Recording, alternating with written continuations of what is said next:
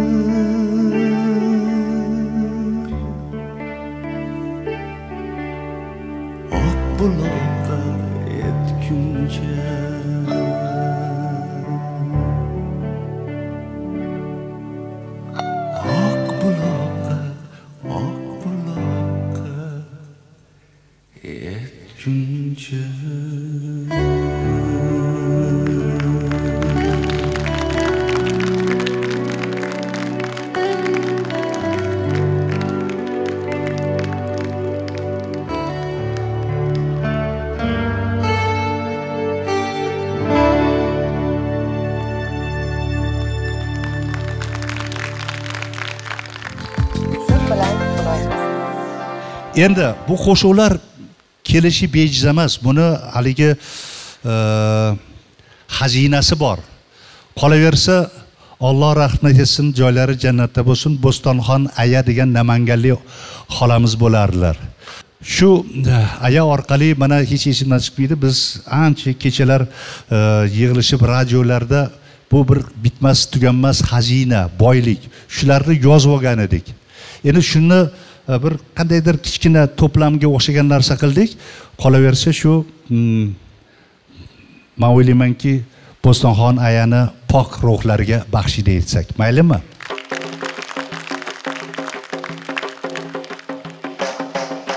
bozorga boqqol yarashgan yor yor yor aylanay hay yigit soqol yarashgan sanamga. Yor yor yor aylanay. Voy qaddi qomat yarashgan aylanaman havolar havolar tomchilar yor yor yor aylanay. Adiklar otni qamchilar aylanaman aytadigan tilingdali yor yor yor aylanay. Qandu novot tomchilar aylanaman yor yor yor yor yor aylanay aylanaman kimlar yor sani bosalam avlama kimlar yor sani bosalam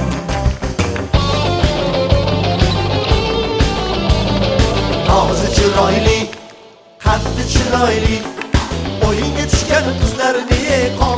chiroyli qoshingizni qarosi par par yonadi. Oshiqni ko'nglini moshib biladi. Oshiqni ko'nglini moshib bilganda yori kerak bo'lsa agar izlab boradi. Nozil bo'lakchi qatti bo'lakchi o'ynab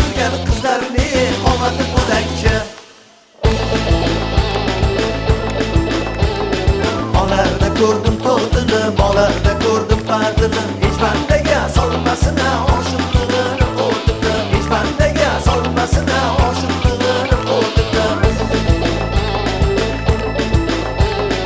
o'sma qo'ygani qoshingga surma qo'ymasang nima sani suymagan yorga bino qo'ymasang nima A sani suymagan yorga bino qo'ymasang nima og'zi bo'lakcha qaddi bo'lakcha o'ynab turgan qizlarni qomati bo'lakcha og'zi bo'lakcha ha qaddi bo'lakcha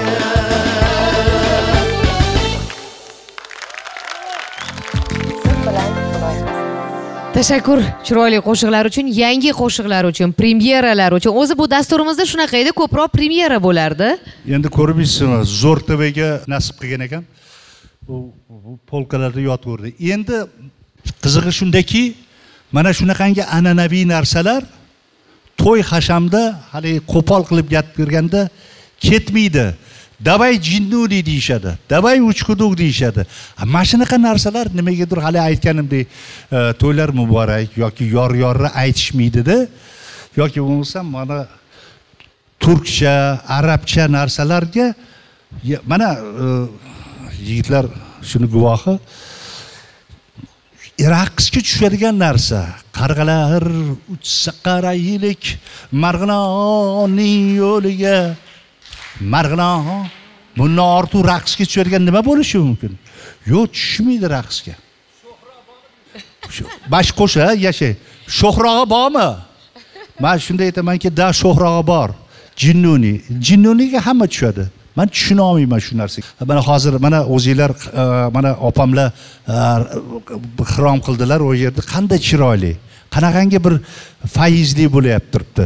Jinnuniyga hamma rostga so'rayaptilarda mana shunaqa qo'shiqlarga o'ynasa bo'ladimi? Jinnuriydan ko'ra deyaptilar. Endi bunga qo'shimcha qani tanovvarlar aytilmaydi munojatlar aytilmaydi discoverylar aytiladi bu narsalar aytilmaydi. Shuning uchun endi ming afsus mayli. Farruh aka ruxsat bersangiz abbos akaga ham savolim bor edi. Xo'sh. ma'lummi e albatta. O'zbekiston respublikasida xizmat ko'rsatgan artist abbos aliyev. Abbos aka sizni ham ko'rganimizdan xursandmiz judayam. Va shuncha yil yalla ansamblda birgasiz hali javlon aka ham aytdilaru kerak bo'lsa oilada aka uka chiqishmay qoladida vaqti kelsa. Fikri fikriga to'g'ri kelmay qoladi. Shu shuncha yil yalada ishlab turib biror marta e bo'ldi yig'ishtiraman ketib yuboraman degan paytingiz bo'lmaganmi mabodo endi savolingizga rahmat. Kollektivda ishlaganda agar har xil kelishmovchiliklar unaqa narsalar endi bo'lib turadi. Hammani o'zini fikri bor o'ziga yarasha fikri bor. Agar mana shunaqa hammani o'ziga yarasha fikri bo'lmasa unda o'shandan bir narsa kelib chiqmaydi. To'g'ri. O'shaning uchun unaqa narsa lekin repetitsiya paytidami yoki e, mana shu bir narsa ustida ishlayotganimiz paytida bahs bo'ladida o'sha bahsdan bir narsa kelib chiqadi. Lekin repetitsiya tamom bo'lgandan keyin ko'chaga chiqqanimizdan o'sha keyin o'sha ahilchilik bu narsalar unutiladi. Aka ukachilik hech qachon unutilmaydi. O'shaning uchun haligi siz aytgan narsa hech qachon bo'lmagan. Bo'lmaydi ham. Bor edi boradigan payt yo bo'lmagan yo hech qachon. Yo xudo asrasin. Unaqa narsa bo'lmagan. Abbos aka yana bitta savol. Farruh aka bu savolni berishdan oldin sizdan uzr so'rayman. Farruh akani ijodkor sifatida ham a, tabiatlarining jiqqina deyishadi. A, inson sifatida ham a, o'ziga yarasha injiqliklari bor deyishadi. Qiyin emasmi ular bilan til topishish? Javlon aka javlon aka ketdilar. So'rab oling so'rab oling kim kim bunaqa forig kam yaxshi bilar ekan? Kim kim? Yana bitta qaytaring oxirgi oxiri aytgan so'zingizni injiq dedingizmi ham judayam injiqlar a sal Judayam salmasa judayam endi bu rahmatli do'stingiz obid asomov aytgan edilarda feruza e, farruh akamni fe'llarida shunaqa injiqlik bor. Lekin ham san'atkor sifatida ham e, inson inson sifatida shunaqa qo'shmadingiz injiqlik bor. Judayam injiqlik bor deb qo'shganini aytmadingizu ayting yo'q unaqa demagandilar menga. Э, siz haqingizda man so'raganda qanaqa insonlar deb so'raganimda shunaqa degandilar. Lekin shunaqa o'ziga yarashadigan injiqlik degan edilarda man injiqlik kimgadir yarashishi mumkinligi haqida o'shanda o'ylab qolganman. Obid asomovni so'zlaridan keyin. Bo'lmasam bulardan so'raylik. Yarasharkanmi? Tomoshabinlarimiz bilishmasligi mumkin. E, lekin jamoadagilar bilishadida abbos aka javlon akamda gap ko'p shekilligi man aytishim mumkin. Forih e, injiqlik juda ko'p ancha bor. Faqat faqat san'atga kelganimiz ijod qilayotganimizda injiqlik juda ko'p lekin bo'lmasa ham man hayron bo'lardim. O'shaning uchun o'zingiz aytyapsiz ashulalarni hammasi qo'shiqlarini oxirigacha she'rlari aytiladi eshitib turamiz deb. Mana shunda forih kamni injiqligi. Bitta masalan narsada yozilib ketavermaydi studiyada yozganimizda. Forig kam yana talab qiladilar yana talab qiladilar yana talab qiladilar shunaqa qilib bir kun ikki kun uch kun bir haftalarga cho'zilib ketadi zapislar. Shunda bor.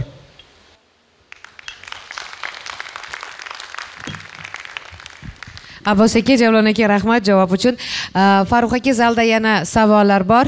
Assalomu alaykum. Va alaykum assalom sizlar ko'p dunyo sahnalarida bo'lasizlar man bermoqchi bo'lgan savolim shu boshqa yurtlardagi yevropa rossiyalarda jonli ijro bilan fonogrammaga muxlislarni munosabatini bilmoqchi edim sizdan. Ho'p yanglishmasam oxirgi bir to'rt besh yillarda haligi biz yanglishmasam bir yetti yo sakkiz tonna apparatura olib yurardik. Maqsad shuki hammasi jonli bo'lishi uchun. Endi hali televideniye bor mana bir o'zingiz tasavvur qilingchi bugun jonli ijroni hech e, imkoniyati yo'q. Endi haligi ko'p e, konsert dasturlari haligi yig'ma konsertlarda dasturlarda masalan uni jonli aytish uchun jonli aytish uchun kamida bir to'rt besh soat tayyorgarlik qilish kerak. Keyin e, man prinsipial holda bir yo bu jonli ijro ekan bu yo yoki boshqa bir narsa bor. Masalan fonogramma orqali bizni asarlarimizni yo qolaversa bizni ijroyimizda bo'lib turgan fonogrammalarni bir yoshlar ishlatishadi. Bu endi albatta bu judayam noto'g'ri narsa. Lekin masalan yo bu jonli ekan yoki bu jonli emas ekan fonogramma degan bir bunga bir qat'iy e, qarashim yo'q. Endi mahorat san'ati qanaqa bo'lmasin? Fonogramma orqali bo'lyaptimi yo jonli bo'lyaptimi? Baribir bu seziladi. Mana masalan o'sha tomoshabin e, konsert dasturini yoki bir ijroni eshitib shu narsa agar xayoliga kelmayotgan bo'lsa demak e, asosiy maqsad shu san'ati bilan tomoshabinga yetkazib borishi maqsadga erishgan bo'lsa shuni o'zi bas. A, endi jonli aytish kerakmi yoki fonogramma orqali? Mana masalan e, humo arenasini ochilishi bo'ldi a. juda katta bir e, dastur juda yam sharafli dasturda e, qatnashdi. Endi bir e, ancha gap bo'ldi shuni jonli ijro etish. Endi texnik sabablarga ko'ra bu juda mumkin emas. Ayniqsa bizni e, janrda. Masalan butun simfonический orkestrni olib kelish kerak yoki bo'lmasam endi milliy anaqalari bor haligi asboblar bor ularni e, bir haligi mm, repetitsiya qilib ularni yetkazib borish juda qiyin. Shuning uchun sozlash e, e, shuning uchun haligi bir prinsipial holda yo bu jonli ekan bu fonogramma degan shaxsan meni o'zimda unaqa munosabati yo'q bunga. Kechirasiz ustoz. Hozir mana jovlon ham e, shunga qo'shimchalik aytmoqchi man bilishimcha o'zi san'atkorlar har bitta san'atkor agar san'atkor bo'lsa haqiqatdan e, fonogrammada aytishdan o'zini olib qochadi. Nega desangiz jon- jonli ijroda o'zini gashti bor san'atkorlar nabarot maza qilib aytadi uni maza qilib ijro qiladi. Endi ularni o'zidan olib qochishi bu narsani faqat apparatura buni ko'p paytlarda bir kun ikki kun ketishi mumkin buni sozlashga apparaturani nega desangiz jonli aytishga e, e, zvuk yaxshi bo'lishi kerakda endi любой san'atkor qancha bilsam san'atkorlarni jonli aytishga ular ular undan ham battar maza qiladi. O'zini hech qachon olib qochmaydi. Jonli ijro etishni o'zini gashti bor. Sozandalarda ham e, ashulachilarda ham hammasida o'shaning uchun xalq masalan bir xil paytda aytadi mana jon- jonlimi jon san'atkorda aybi yo'q u с удовольствием jonli ijro etadi hamma narsani. Agar apparatura imkoniyat bersa. Ma'qulmi? Rahmat javob uchun rahmat sizga. Siz bilan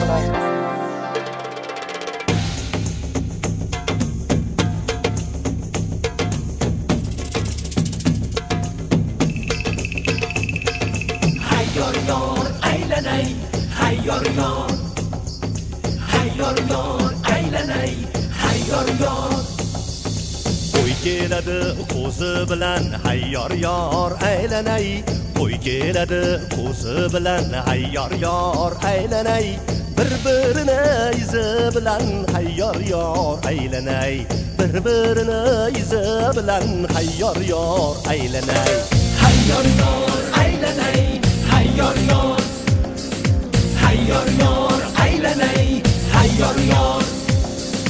Bir birini izini ko'r hayyor yor aylanay.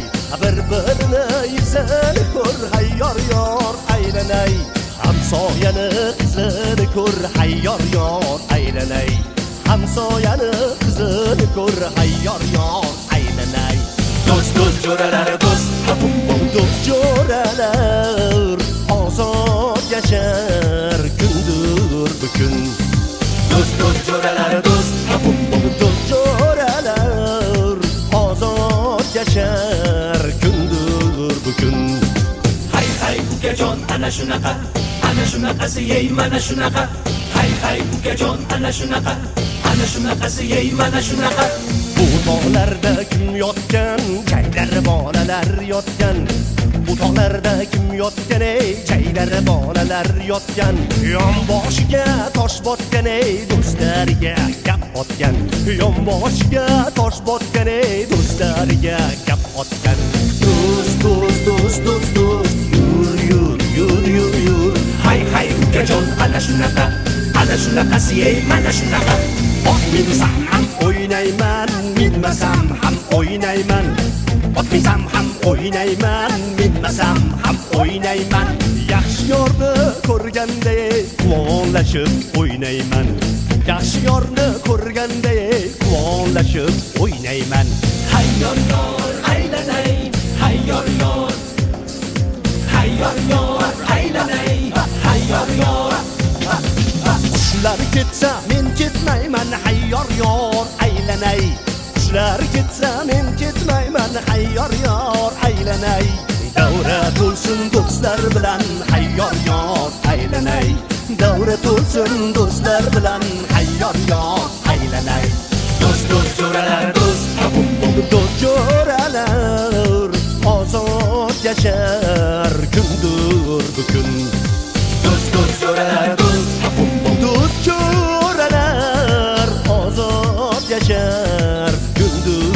Kun do'st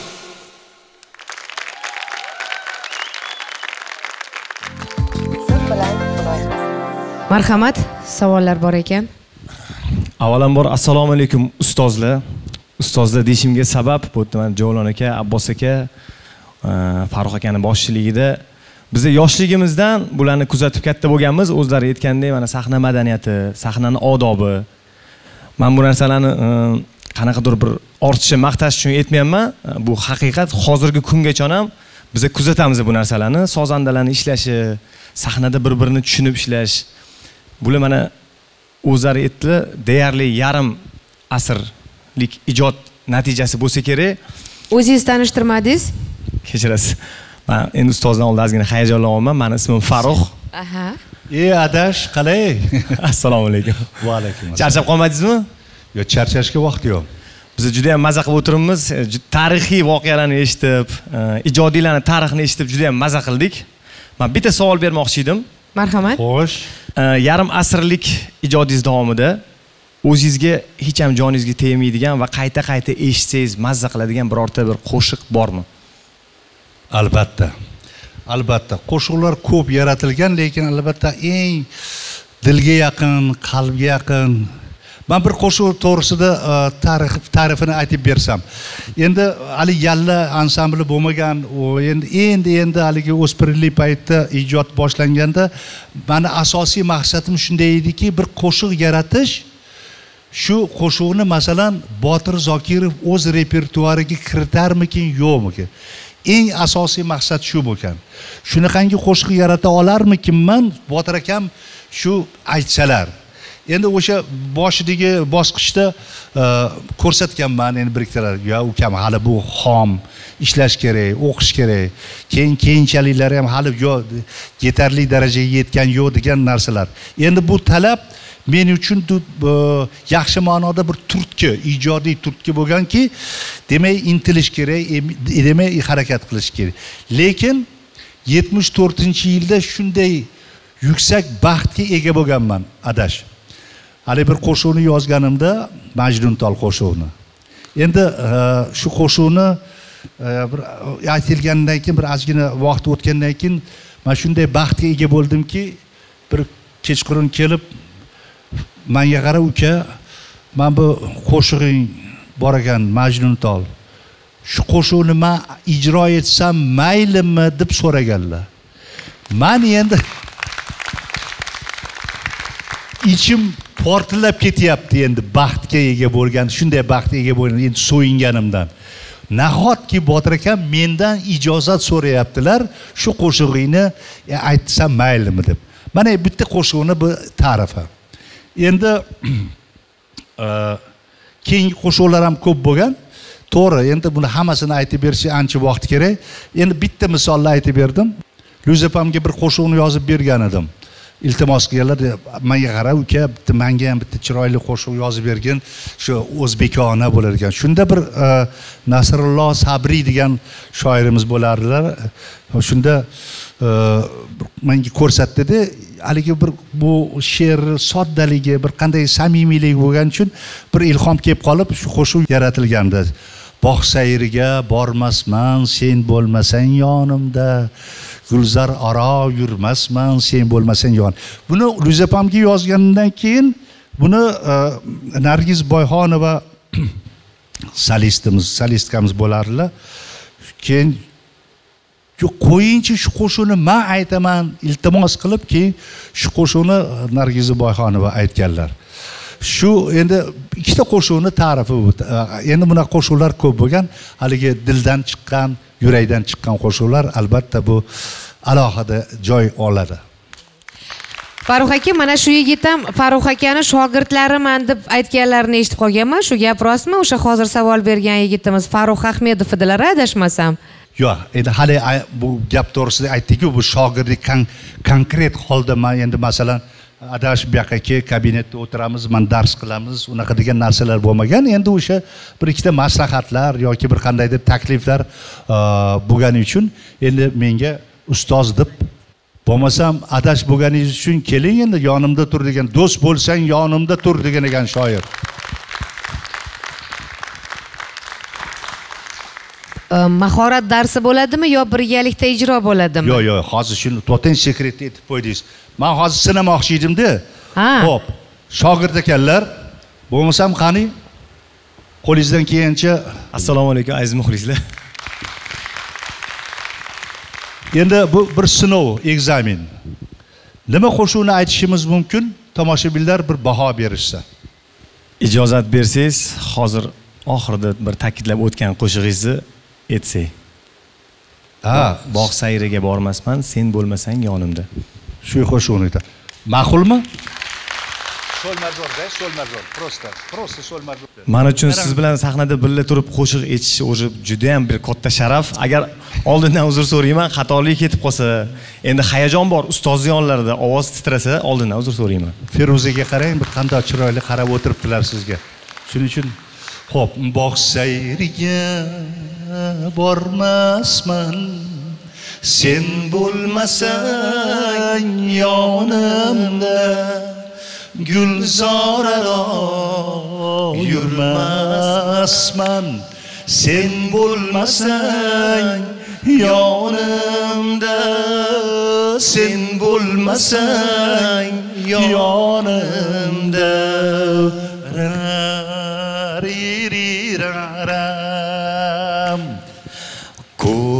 Ko'rmasam aylab xumor tunlarim o'tgay bedor. Har dam yo'qlab bo'lgum zor. Sen bo'lmasang yonimda sen bo'lmasang yonimda. Ra ra ra ra ra. Kech fayzi yo'q to'rt faslimning yozi yo'q qalbimning sho'x sozi yo'q sen bo'lmasang yonimda sen bo'lmasang yonimda Ra-ra-ra-ra-ra, di-di-di-ram.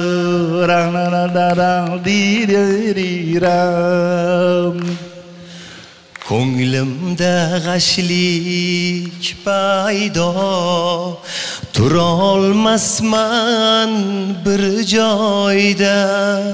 Sabr yo'q orom qayda.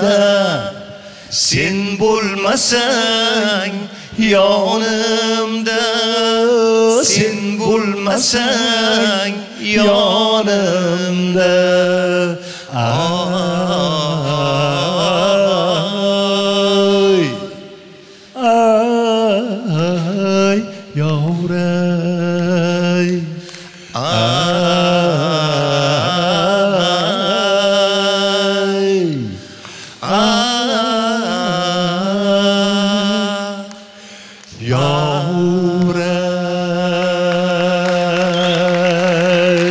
Qarsaklar rahmat man o'ylaymanki bir ovozidan o'n ball. Rahmat kattakon rahmat salomat bo'ling. Judayam saxiysiz a farruh aka o'n ball. Ha endi sizni bu dasturga loyihaga tashrif buyurishingizdan xabar topgan bir yoshlari katta onaxon aytdilarki yoshligimiz ana shu qo'shiqlar bilan o'tgan. Ana shu yalla ansamblini qo'shiqlari bilan ularni ijodi bilan rasmlarni to'plaridik kalendar chiqardi taqvim chiqardi u paytda yalla ansamblini rasmi bilan. Va keyin vinil plastinkalar bo'lardi. Hammasini to'plardik. Haligi bir birimizdan olib yalinib o'sha vinil plastinkalarni qo'ni qo'shni o'rtoqlar bir biriga e, haligi berib turishga ham hattoki qizg'anishardi plastinka chizilib qolmasin ashula eshitilmay qolmasin deb. E, o'zlari o'qituvchi ayollar va aytdilarki bu insonlar bu san'atkorlar yalla ansambli o'zbek millatini o'zbek san'atini mulki xazinasi. Va ular bilan qayta qayta dasturlar qilib ularni qo'shiqlarini qayta qayta yozib xalqqa elga tarqatish kerak. Chunki bular chin ma'noda o'sha xalqni millatni san'atni mulki deyishdi. Rahmat. rahmat bu gaplar uchun samimiy iliq gaplar uchun. Endi hali e, eshittirishimizni boshida shu shu e, mavzuda boshladik. Biz uchun bu muqaddas burchimiz bizni muqaddas vazifamiz endi shunday qandaydir e, olloh bergan iste'dodga ega bo'lgan bo'lsak olloh bergan bir san'atga mahoratga ega bo'lgan bo'lsak endi asosiy vazifamiz shundayki butun dunyo kezlab butun dunyo kezdik ko'rdik. Asosiy maqsad shularga yaxshi ma'noda jar solib aytishki aytishimizki mana shunday o'zbekiston degan millat bor o'zbekiston degan diyor bor o'zbek e, mamlakati bir ajoyib mamlakat degan e, asosiy vazifamizga biz e, maqsadimizga erishdik. Man boshida buni ko'p gapirdim. Bundan oliy baxt bo'lmasa kerak.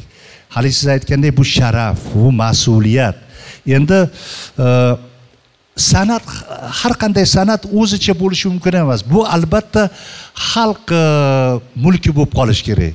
O'sha qanchalik yaqin bo'lsa qancha o'sha e, muxlislarga tomoshabinlarga ma'qul bo'lgan bo'lsa ularga bir bir qandaydir baho berilgan bo'lsa eng nima deydi san'atkor uchun bu eng yuksak baho mana shu. Bundan oliy baxt bo'lmasa kerak. Shuning uchun sizlarga rahmat. Rahmat Э, qadrli tomoshabinlarimizga va ekranda bizni tomosha qilayotganlarga qarab turib aytishim mumkin. Yalla ansamblini minglab millionlab muxlislarini bittasi. Man shuning uchun haqliman deb o'ylayman. Yalla ansambli nafaqat bizni millatni bizni respublikani bizni mamlakatni va bizni o'zbek san'atini mulki. Bugungi kunda yalla ansambli biz bilgan qardosh xalqlarini ham Э, san'at mulki hisoblanadi. Chunki sizni san'atingizdan ilhomlangan qozoq qardoshlarimiz qirg'iz qardoshlarimiz tojik qardoshlarimiz afg'on qardoshlarimiz bor. Ular ham sizni qo'shiqlaringizni yalla ansamblini qo'shiqlarini kuylashadi sevishadi bilishadi. Buni o'zi ana shu millatlarga ham bejizga axir tojikiston xalq artisti emas. Bejizga axir ingushetiya xalq artisti unvoni berilmagan. Qo'shni respublikalar unvonlari. Bular bejizga emasku ana shu san'atga bo'lgan ana shu yurtga bo'lgan hurmatni bir belgisi. Feruzaxon uzr gapingizni bo'ldim. Yana bu kamtarsizlik bo'lmasin. Mana bu haligi e, shu navbatdagi unvon berishda bu juda yuksak unvon. Hurmatli zyazikov ingushetiyani prezidenti mana qanaqa bo'lgan? Bu yangi yildan oldin bo'lgan voqea moskvada moskva shahrida mana yigitlar shuni shohidi endi bir kelishdida o'sha endi atrofdagilardan prezident atrofidagilar aytishdiki iltimos sizni prezident taklif qilishyapti. Shunda yugurib kelib e, ko'rishdik.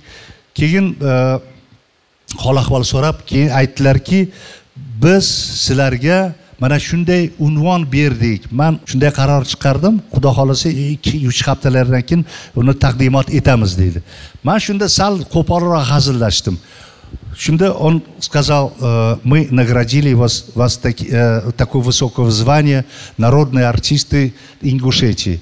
Я немножко неудачно пошутил, я говорю, извините, уважаемый президент, за какие заслуги? Он говорит, обижаете?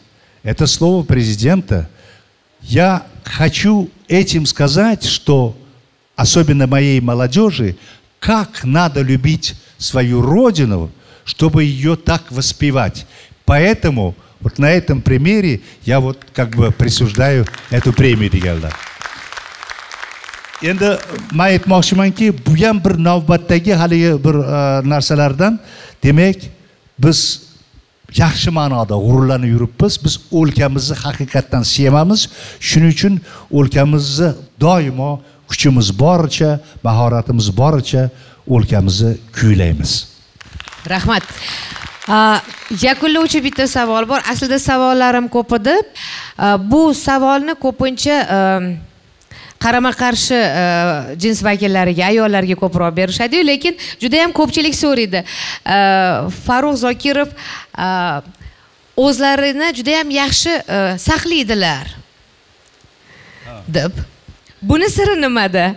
Endi mana yallagi yana yil keyingi yil ellik yil bo'lsa endi mana ellik yoshga to'ldim. Endi bolalar sal keyinroq kelishdi. Xudo xohlasa ikki ming yigirmanchi yilda bular ham ellikka to'lishadi. Rahmat. Farruh aka javlon aka abbos aka timur aka tashrif uchun tashakkur deymiz yalla ansambliga.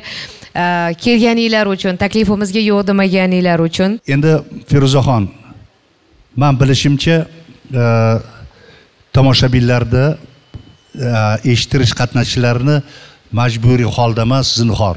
Yo'q unaqa emas. Taklif yoki bir e, e'lon sifatida aytganingiz uchun shunga qaramasdan mana e, vaqtinglarni ayamasdan tashrif buyurganlar uchun sidqi dildan samimiy minnatdorchiligimizni bildirmoqchimiz. Katta rahmat. Sog' bo'linglar. Sog' bo'linglar. Omon bo'linglar. Zo'r tv kanali va vodiy sadosi radiosida siz bilan loyihasi loyihamizni bugungi mehmoni esa afsonaviy yalla ansambli o'zbekistonda xizmat ko'rsatgan artist abbos saliyev bo'ldilar. O'zbekiston respublikasida xizmat ko'rsatgan artist javlon to'xtayev timur halikov o'zbekiston qoraqalpog'iston qozog'iston tojikiston qirg'iziston ingushetiya xalq artisti farruh zokirov tashakkur endi aziz do'stlar man o'ylaymanki juda hayajonli bilan bir qandaydir samimiy bu raislik qildilar feruzaxonga ham bitta qarshi chalaylik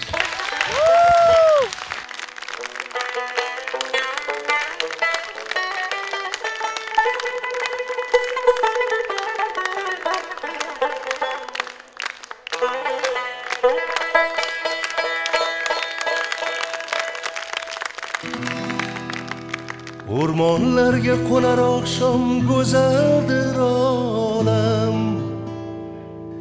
menda yo'q orom tatimas bir dam yo'qsan jonim yo'qsan dildor so'zlar bahor ko'zim intizor na bir xil